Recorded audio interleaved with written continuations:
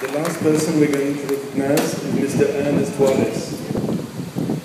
And Mr. Wallis has something special for me. Is I came with a crowd of French and American friends, and what I want to say to all the surviving veterans and people who know them, that my team at the Public Affairs over there has got phones to fill. And if you know of surviving veterans who fought on the soil or in the air or on the sea or France during World War II, can still apply on their behalf and take the form. And that's what the Mrs. Tassiel over there did, was to come to us, bring all the documents, and we filled the award, the, the paper. And today we're happy to give the Legion to Mr. Wallis. He was a technician fifth grade with the 267th Field Artillery Battalion.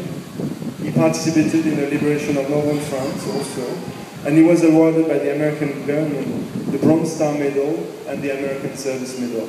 And today Mrs. Is going to give him the Legion of Honor. Au nom du président de la République et des pouvoirs qui nous sont conférés, nous faisons chevalier dans l'ordre de la Légion d'honneur.